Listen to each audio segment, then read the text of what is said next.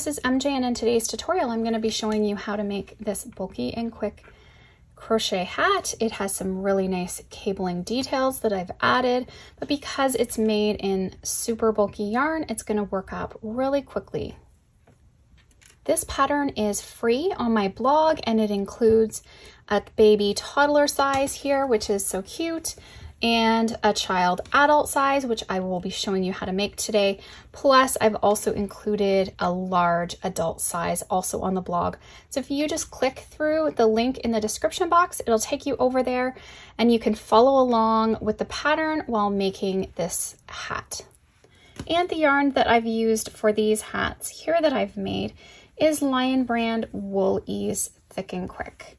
So there's so many fun colors to choose from and it's a super bulky weight number six.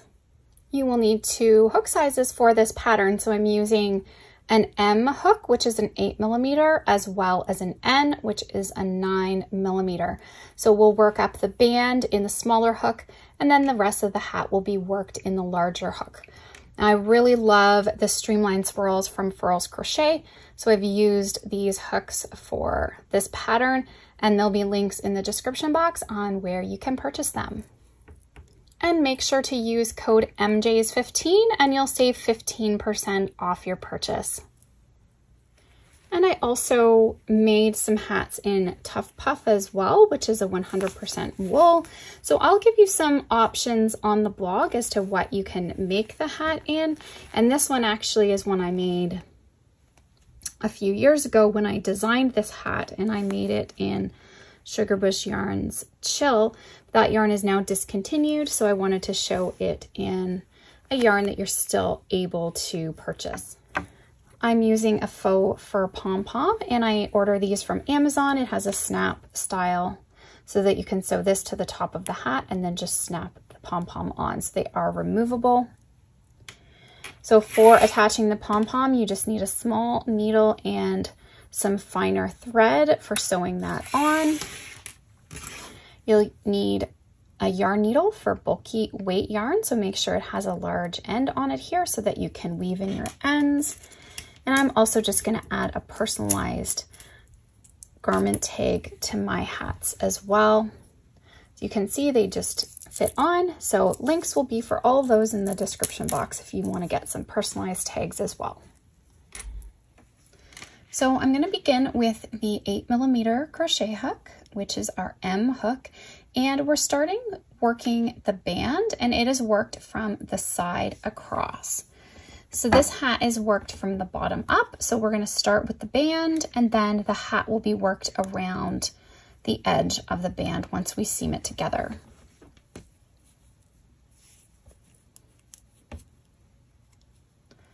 So make a slip knot and put that on the hook and we'll chain out six.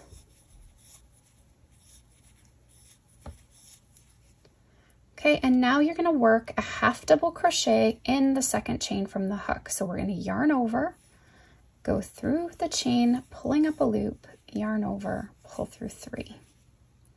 So yarn over, go through the chain, pulling up a loop, yarn over, pull through three.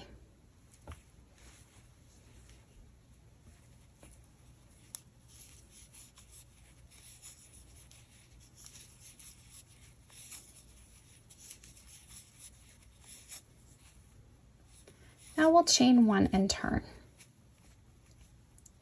So the band will be worked in the back loops only. So here is the stitch and the loop closest to me is the front loop and the loop farthest from me is the back loop. So we'll yarn over, push your hook down through the center of the stitch, pulling up a loop, yarn over, pull through three. So we'll continue working half double crochets in every stitch. We're just working in the back loop only.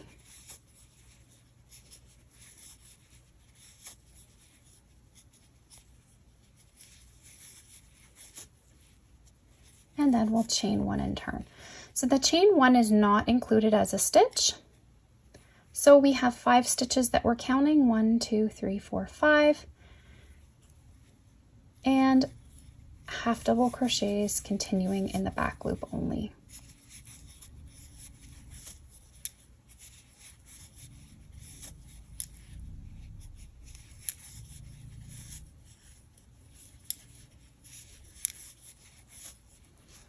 Okay, so the band is going to continue being worked in rows. So we're going to have a nice big long strip.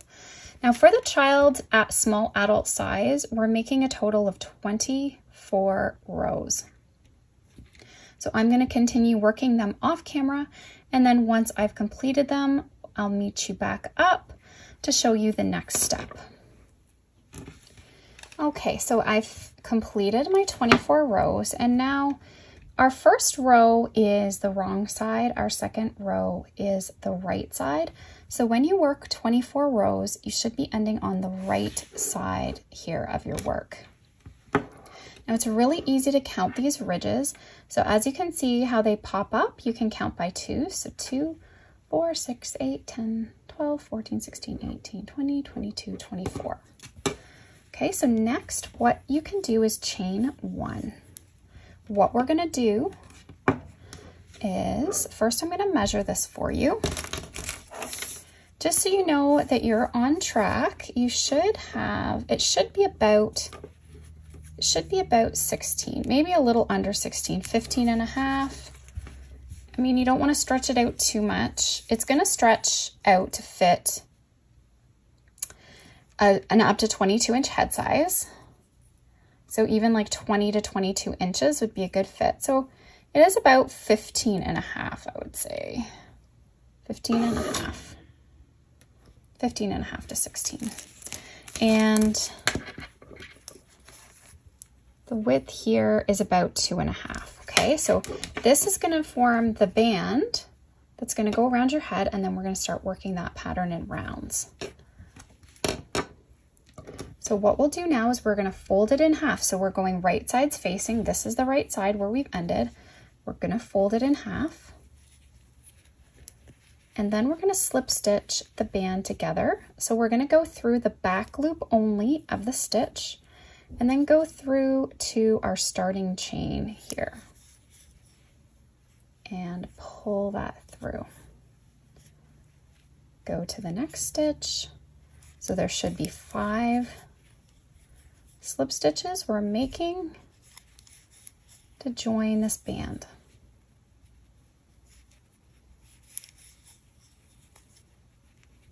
Last stitch here, so just going through the back loop only. And I'll get you to chain one just to secure it. So when you flip the band now, you can see how seamless that is. So you can hardly tell where we've joined that up. And this band at this point can make sure that fits around your head. This should fit most children and small adults. Like my head size is a 22 inch, so I know this will fit me, but I will include a larger adult size in the pattern as well, just if you do have a larger size head or you're making it for a man, you may need it a little bit bigger than this. And if you go over to the blog, you'll get all three sizes there. The pattern is free on the blog, or you can purchase an inexpensive PDF if you'd like a printed copy of the pattern. So now what we're gonna do is work evenly around this band. So I want this to have 36 stitches for my pattern. The pattern is worked in multiples of six. So we need to make sure we have 36 stitches when we work around. So now for half double crochet rows, we would work three single crochets for two of these rows. So what I like to do is kind of look at my two rows, make sure I insert three stitches, look at my next two rows, make sure I insert three stitches, and away I go around. Now I also like to keep my stitch sort of up in one of those top loops because if you start digging down in too far, it's going to make a gap. So I've done one, two, three. So that covers those first two rows and you kind of will find a place that's repetitive to go into. So I'm going to go into this stitch here. So one, my second stitch is kind of going above this section each time. So there's two, and then there should be a loop right here that you can get your third stitch into. So once you get a feel for that, so there's the one there, I'm crocheting here over my tail as I go, then there's that little loop above there for your second, and then that loop again. Okay, so just continue working around the band in that manner and you should have 36 stitches when you get to the other side and I'll meet you back up for the join. So I have been working with my larger hook for this. And now what we're gonna do is slip stitch to join. So you wanna find your very first stitch and we're gonna go under the loops of that stitch to slip stitch to join. And now we'll chain two. Our chain two will not count as a stitch throughout this pattern. So for our next round, we're gonna work half double crochets into every stitch. So we'll yarn over. We're going through that very first stitch that's attached to this chain.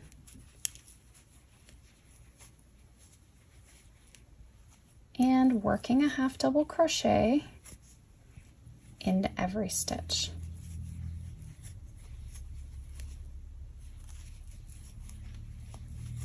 Okay, and now repeat that all the way around. Okay, so I've worked around in every stitch, so I have 36 stitches. So those are all half double crochets now, and we're gonna slip stitch in that first half double crochet to join. Now we're not joining into the chain. You wanna make sure that you go under the stitch, do those two loops, and slip stitch to join. And we'll chain two. So now this is where we start setting up our pattern. So we'll be working some front post double crochets as we work around this round. So this, a front post double crochet is worked around the post of the stitch. So that's this section here. So we're not going under the stitch, we're going around the post when we do a front post double crochet.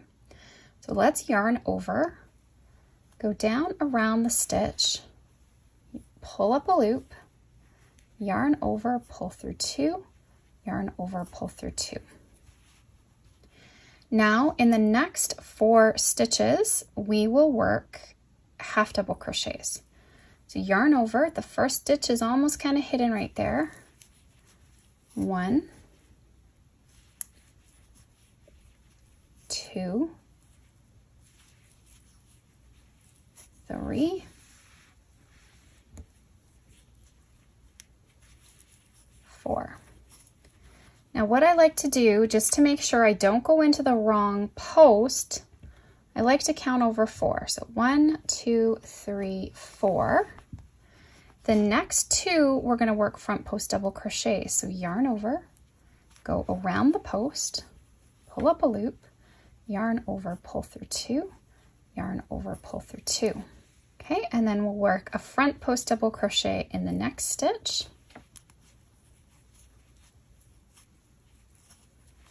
Okay, so we have four half doubles, then we have two front posts, and now we'll do four more half doubles again. So yarn over, make sure you get that first stitch. One, two, three, four. And then I want you to count across your posts so again you don't get the wrong one. So there's one, we're looking from this last post, one, two, three, four. So then we're doing the next two again. We're doing front post doubles.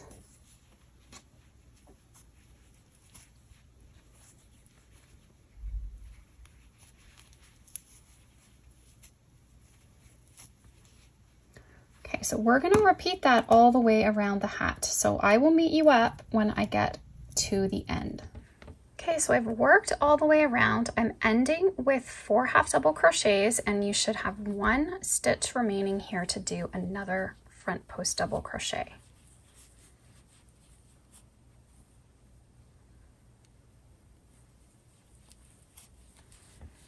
now what we're going to do is slip stitch into the first front post double crochet to join up in the top of the stitch. And we'll chain two. Now for this round, we're gonna start to create the pattern. So what's gonna happen is this space that I've made here, this post and this post are gonna start coming together. These posts are going to separate, okay? Making the V shape, okay? So this is how we're gonna do that. The very first stitch, which is the top of the front post double crochet, we're going to work a half double crochet. Then we'll work a front post in that established post that we've already created.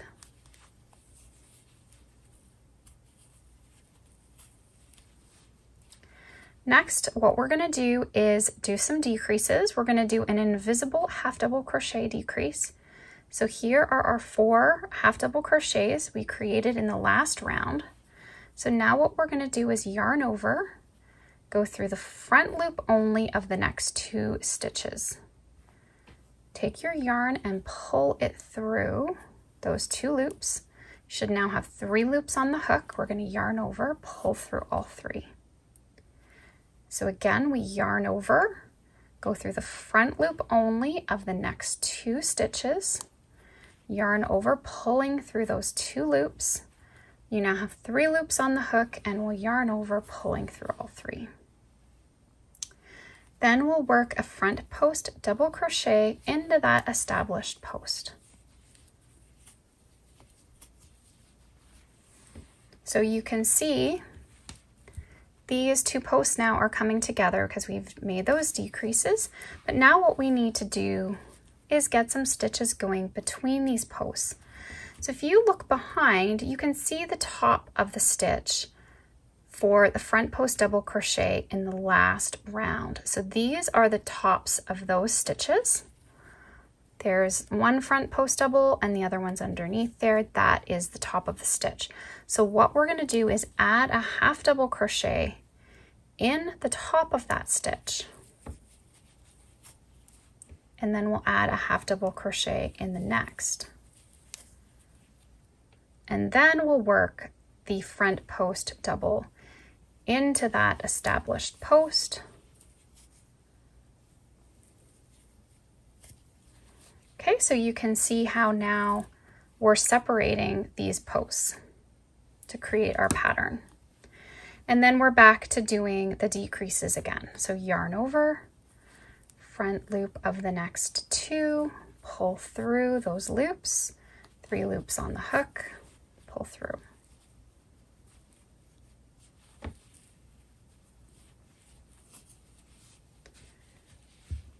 Then we're working a front post double crochet again.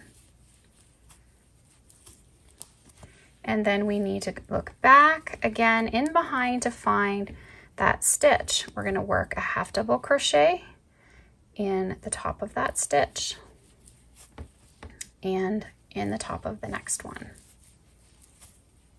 And then a front post double.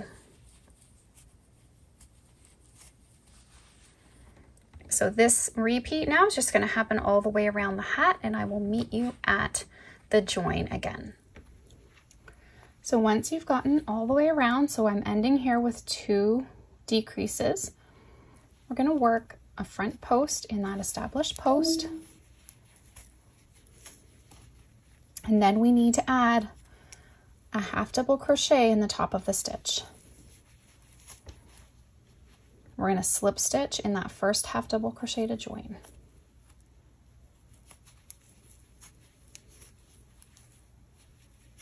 And chain two. Okay, so for our next round, we need to increase. So we're gonna work a half double crochet, a first stitch, and then we're gonna go back right down into the same stitch and work another half double crochet.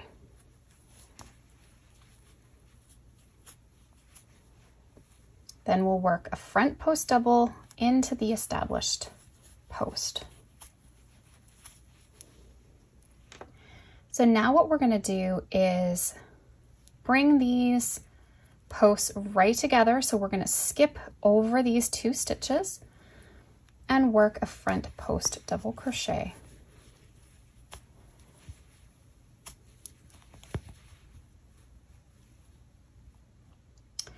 Now we need to do two more increases because we're still pushing these apart. So we'll do two half double crochets in the next stitch.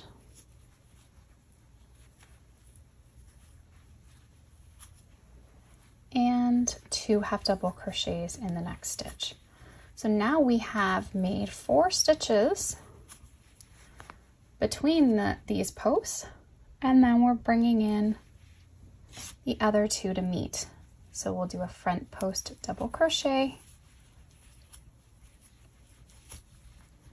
We're going to skip over those two stitches and work a front post in the next established post.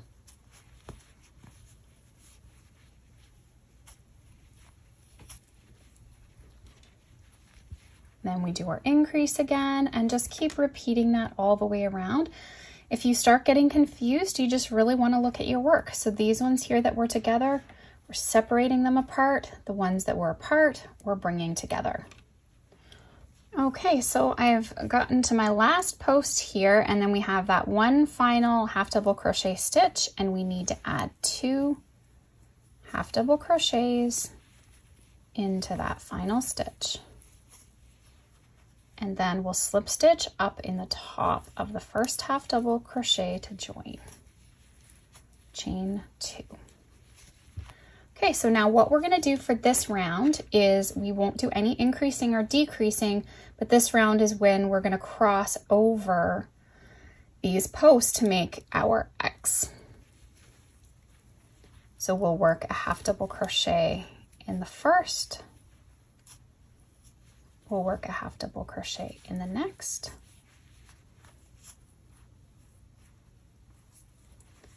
And then we're going to skip this front post and do a front post in the next one.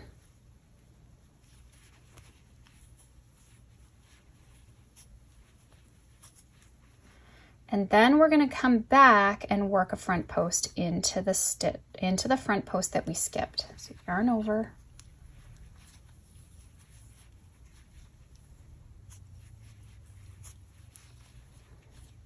Okay, and then you should have four half double crochets here between, and we'll just work across them, one in each.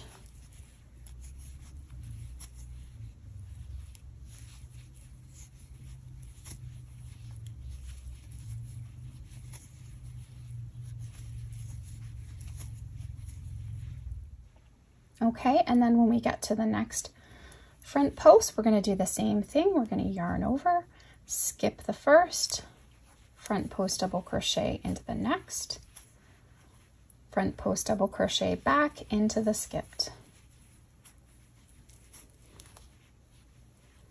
And then four half double crochets. So just keep repeating this now all the way around. And if you need to go back and review any of the steps, just rewind the video and rewatch until you get the hang of it. And when we get to the end, we're just ending off with our two half double crochets, slip stitch in the first, half double crochet to join. And we'll chain two to start the next round. Okay, so now what we're gonna do is we have to start decreasing these sections and increasing this section. So this one's a little tricky just because you have to really dig for the, those front posts, but I'm just gonna work through it slowly with you. So the first two stitches, we're gonna do an invisible half double crochet decrease, just the way I've been showing you. So we're gonna yarn over, go through the front loop of the next two, pull through those two loops, three loops on the hook, yarn over, pull through, all three. So now what we need to do is dig and find that front post that's underneath. So yarn over, go down, find the post, work a front post double crochet. Now we need to go in behind and find the top of the stitch because we need to add those two half doubles. So half double in the first and half double in the next. Then we're going to do a front post. So after we complete this, you'll be really able to start seeing that X shape that we're making with the cables. We've got the two half doubles going in between them. And then we're decreasing this section. So we're gonna work an invisible half double crochet decrease. So go through the front two loops only, yarn over, pull through those two loops, yarn over, pull through three.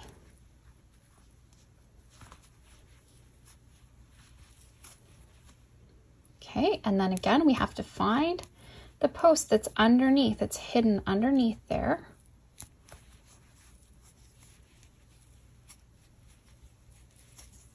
And then you need to turn your work to find those stitches. There's the one front post, there's the other top of the stitch. And we're adding in the half doubles to separate those posts and then yarn over, make a front post double crochet. Okay, so now you're just gonna continue with that pattern around. Okay, and when we've reached the end here, we're gonna decrease those final two half doubles. And then we're gonna slip stitch in the top of that half double crochet to join. Chain two. And for this round, we're just gonna continue doing the same thing. We're eliminating these half doubles now, so this comes together. These are continuing to separate. So this time we're gonna skip right over that first stitch and we're gonna work a front post double crochet.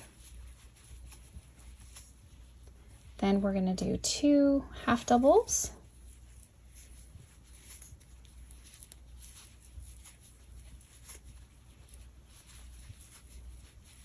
two half doubles in the next stitch.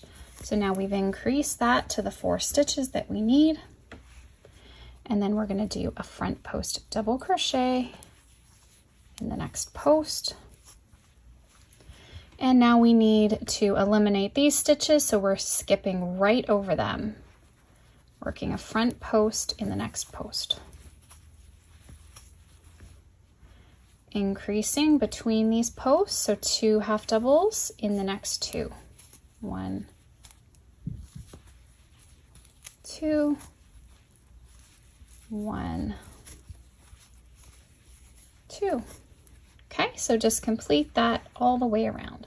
Okay, so now I have finished off with that front post and we're skipping the final stitch and we're just slip stitching in that first front post double crochet to join chain two.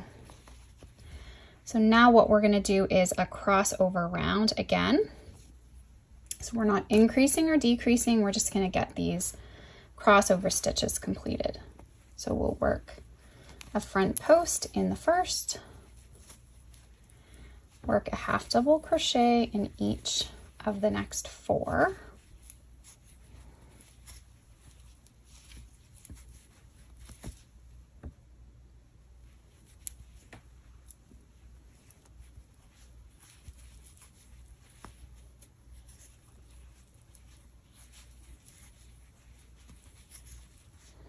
And now we're gonna cross these over. So we're skipping, work a front post double crochet, and then work a front post double crochet back into the skip stitch.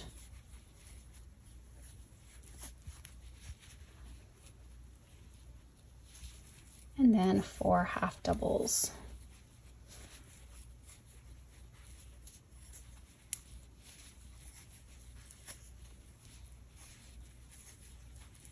So we're just, again, keep repeating this all the way around. We're almost finished. And you can see that we're just gonna use one ball of yarn to make this hat.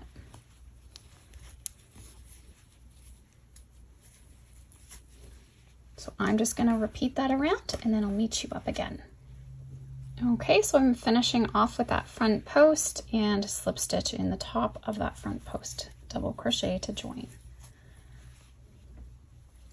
Chain two.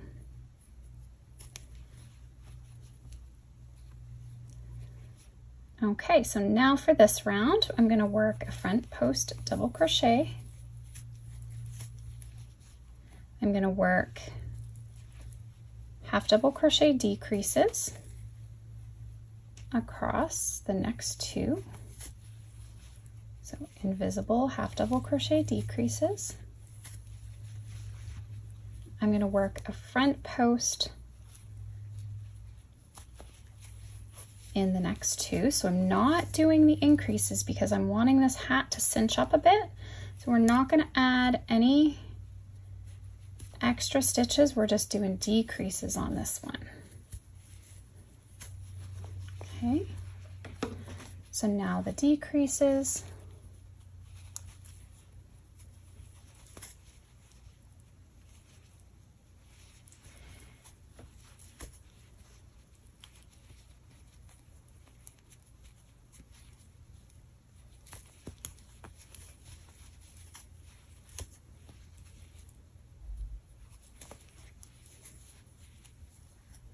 So we're getting that underneath stitch doing a front post and then the one that's over top.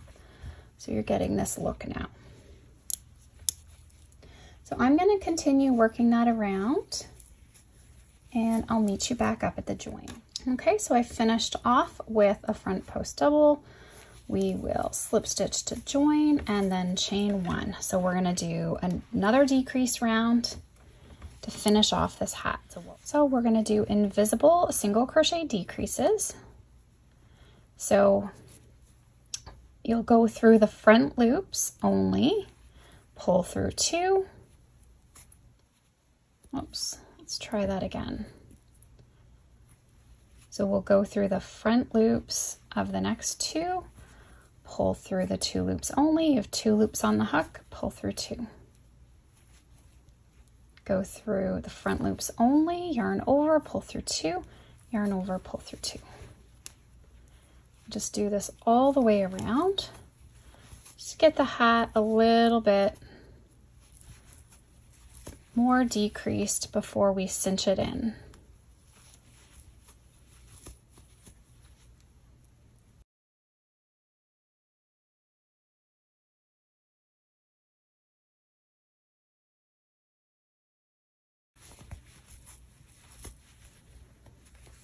Okay, and then we'll just slip stitch to join. Fasten off with a tail. Still have about this much left. So if your gauge is a little bit off, you should, should be okay. So let's take our yarn needle. And what you're gonna do is go through the front loops only.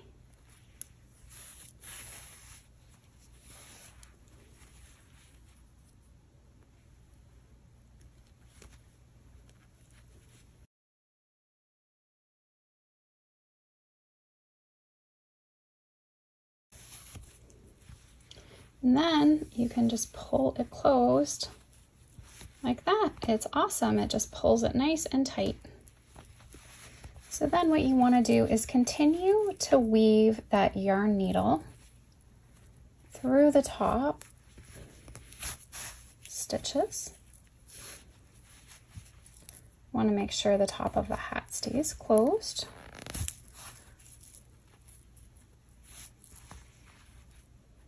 Just weave all that through. And then what we want to do is go back in the opposite direction. And that is what's really going to secure it from not coming undone.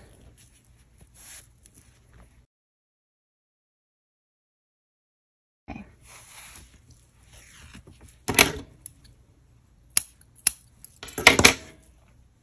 So you don't have to attach a pom-pom, but I am going to put my pom-pom on. So I've just thread some fine worsted weight here yarn. Whatever you have.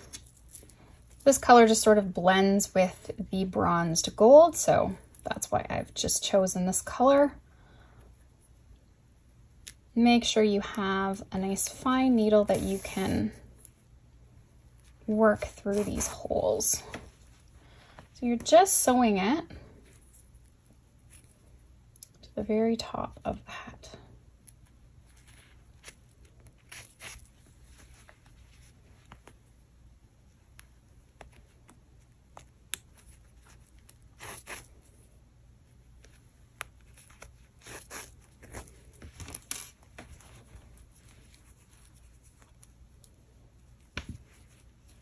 All I'm gonna do is knot this. You could weave those ends down through, but I'm just gonna trim them off. And then these pom-poms I get from Amazon and they are a, a, raccoon fur five inch. This is faux fur, it's not real fur.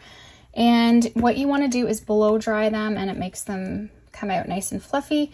And even after wearing it for a while, if your pom-pom's starting to look a little smushed and rough looking, just give it a blow dry and it will look like new again. So you just want to pop that on. And now here's my seam up the back. So it actually looks really good, but I'm going to flip that that it's to the back. And then I'm also going to add on a tag as well. So you can get these personalized tags from Brick Bubble. And I'll have the link. And also there are lots of places you can get these done.